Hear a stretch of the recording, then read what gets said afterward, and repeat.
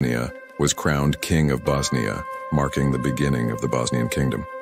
The kingdom flourished under Tvrtko's rule, but faced increasing pressure from the Ottoman Empire.